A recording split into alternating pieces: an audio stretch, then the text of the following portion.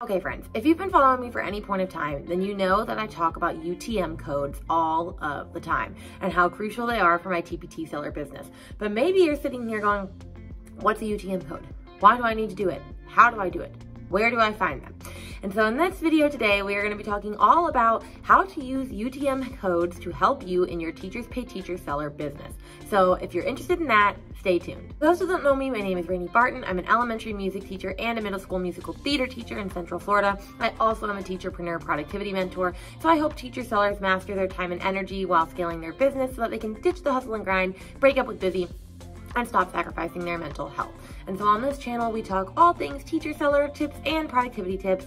Those productivity is Sunday, teacher sellers Wednesday, and the whole goal is to help you work less and make more. So if that is something that you are interested in sticking around with on this channel, then click subscribe and hit the notification bell so you can know when new videos come out on Sundays and Wednesdays. And with that, we're gonna hit the ground running and talk all about UTM codes. What even are UTM codes? UTM codes are basically a customized or personalized URL that TPT allows you to create so that you can track where your sales are coming from. Like more than just knowing, oh, they came from TPT, you could tell they came from a specific blog post, a specific YouTube video, a podcast episode, now on Instagram from a link that you put in the stickers app that we have, which I'm super excited about that. And it just allows you to see where your sales are coming from so that you know where to focus your efforts. Like for example, when you're going to be seeing some screenshots of mine in a few minutes, I know that a lot of my sales are coming from my YouTube channel now. That is a big contender for me. And when I write blog posts, which I'm not as consistent with blogging right now, but YouTube is just my main content. When I do create, um, when I create those, I have a lot better conversion rate. And so UTM codes are really helpful to me because they allow me to see where my sales are coming from. And then if I'm never making sales, for example, from my blog posts, then that means I might either, either need to reconsider the wording that I'm using or just take a deep dive into like what's wrong with my blog post why would they not be converting because if you're creating content or something that is not serving your business well which you can find out through UTM codes then we need to either revise it or scrap it entirely because we do not have time to be doing stuff that is not ultimately moving our business forward. Now in a minute, we're gonna actually show you and walk you through how to create a UTM code and I'm gonna show you like the importance and the value of actually using UTM codes. But essentially all that a UTM code makes up of is you go and get the product listing, like the actual URL, you plug that in, you decide, you name it what you want it to be. So maybe it's gonna be for your YouTube, your blog post, your Instagram, and then you actually type an actual title for the UTM. So let's say for example that I was doing a YouTube video on fall music lessons and I had this product in there. I would go Fall Music Lessons YouTube, Pumpkin Solfege Game. That way I know that that is the product that I was selling and that is the video that it came from. And then when I see that in my UT, my traffic report on TPT, I can go, oh, it was actually that video and I sold three units of that. So I know that I did a really good job talking about it in that video. I need to probably create another video like that and create more resources like that because people are interested in it. So UTM codes are really helpful. Now, I just want to say the disclaimer that yes, they're not always accurate. And like some people are like, I just don't like UTM codes. I don't think that they're valid. I think they are super valid. I've been using them for a while. I use them for everything, uh, which we're going to talk about in just a second. Where should you be using them? Uh, but I use them everywhere, all over my different content platforms, in my TPT products even. And so let's talk about where you should use UTM codes. You should use UTM codes anywhere that you can. So for example, I use them in my YouTube videos. I make individualized UTM codes to put in my product or in my video descriptions underneath. I do it in my blog posts where I can say like, click here to check out the resource and the link is actually a UTM code. So I know that they came from that specific blog post over to there, which I'm gonna show examples of all of these. You could do it in emails that you send out, uh, which I am not that big at sending emails. I'm trying to be better, but I have friends that have done a really great job at making sure to send consistent emails. So that when they do UTM codes for products, for like sales, for example, or things, their sales skyrocket because email is king and UTM codes really help. Uh, you can do it in Pinterest pins, which I try to do if I can remember. That's just a lot of work. Um, but pins are really great. That way you can see which Pinterest pins you created that are actually like helping, you know, progress your business because Pinterest can be a really powerful tool if you're not already utilizing it. You can use it on Instagram now because most of us have the link sticker. So you could make a UTM link instead and know, oh wow, when people watched my story where I was talking about this product, it sold. Uh, I don't feel like that one's to be as like valid because Instagram's kind of like wishy-washy when it comes to sales. Like I don't make a crap ton of sales from Instagram, but it's still something to consider. And you can also use them, which I have done this only a couple of times uh, because I have like this tool that helps me now and it would require me overriding the tool and I bought the tool to save me time so I don't use it. But you could use it in your related products page in your terms of use for your products. Like, you know, when you're recommending other products and you're like, I recommend these three products. Like if you like this product, you'll like these products. You could make UTM codes for those products so that when they click on them, if they buy it, you know, oh, they bought this resource of mine and they really wanted to see other resources I had and they clicked on this and bought it, then you know that that's working and that's something that you should continue doing.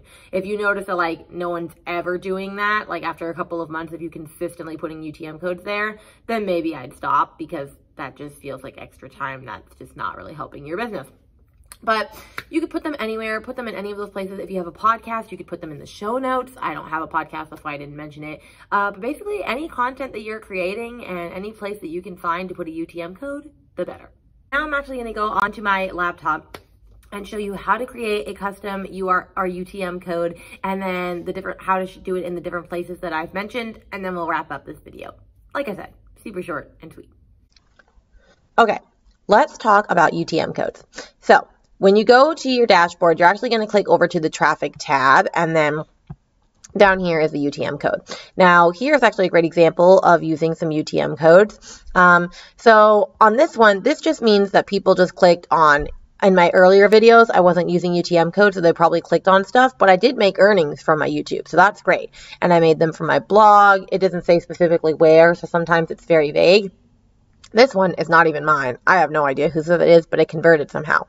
However, if you look down here, I have this specific UTM code that I made. Now, this one didn't convert, but this one did for Skin and Bones. And since my product is only about 350 and I made eight, that means I sold about three of these and the conversion was 300%. So that's actually really good. And that's a good example of why I use UTM codes. I know that people really liked this video and that they bought that product specifically. So this is actually a really great example.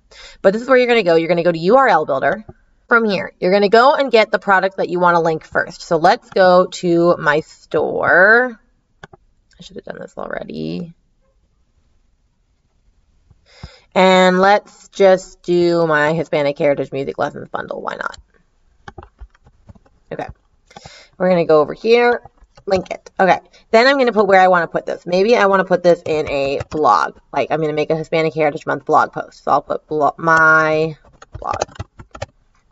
Then I'm going to name the campaign. So I would put top Hispanic Heritage Music Lessons blog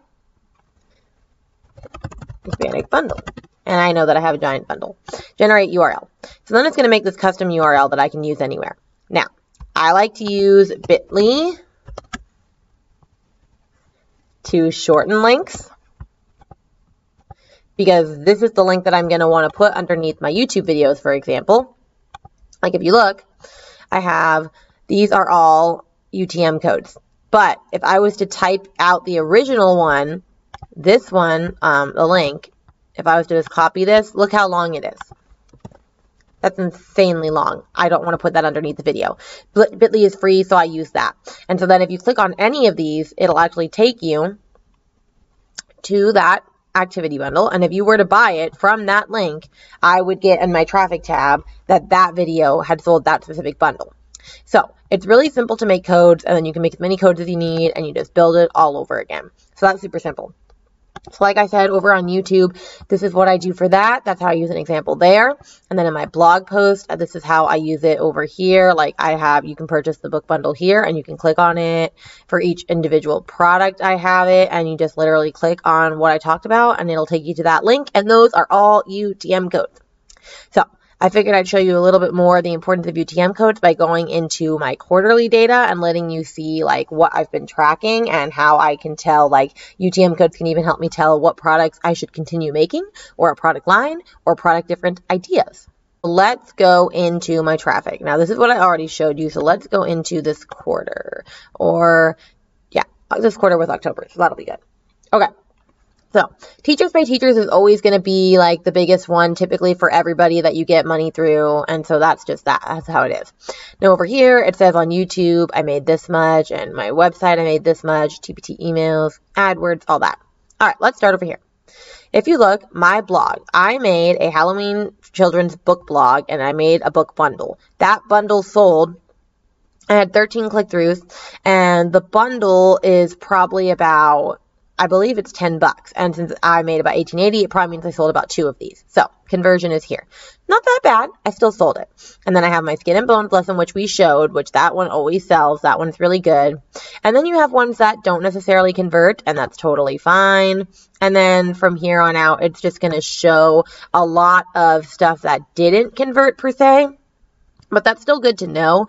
It doesn't like, for example, this one did sell. My uh, pumpkin patch one sold, but it's okay if not everything sells. I still want to know. I still want to have the UTM codes because if I see continually that there is a specific product that keeps getting clicked on and it's not selling, going to alert to me, oh, maybe when they went over, they didn't like the preview or they didn't like the thumbnails and I really need to like edit that and fix that. So this is still good to look at whether or not, um, whether or not I do anything with it. And then, of course, you'll get weird stuff like this, like Bing Smart Shopping and like stuff that doesn't have anything to do with it. But that's a really great example. If we wanted to look at, I don't know, let's do this year, that might be really good. Let's see. Okay, so this kind of shows a little bit of stuff. So it shows teachers pay teachers, of course, like these are the typical things. And then, yeah, so my YouTube Hispanic Heritage video sold a lot there. I have the stuff that we've kind of seen. Oh yeah, when I did this membership and I sold my video in there, that did well. Yeah, so look, these are all UTM codes that I created and I can tell exactly which ones are working for me and which ones are not. So UTM codes are very powerful. I would definitely start using them if you are not already doing it. Now, you might say, that's not much, that much money that you're actually making right there. Uh, it's more money that I would be making than if I hadn't put the URL code, the UTM code. And ultimately, my YouTube channel is designed to not only help give free value, but to sell the products. And so if I'm selling products by just sharing what I'm doing in my classroom, I think that's a win-win for me. And that's the power of UTM codes. It's really simple, really easy to set up. So if you aren't already doing that, I would definitely start doing that in your business. I love UTM codes. They are definitely helpful when I am deciding what type of products to continue and just what type of content to keep working with. So I hope this video was helpful. If you have any further questions about UTM codes or anything TPT seller related, please link it in the comments down below. And I will be seeing you on Sunday with a productivity video of some sort. And I never remember what I'm filming, so it'll just be a surprise once again. But I love you all, and I will see you in the next video. Bye!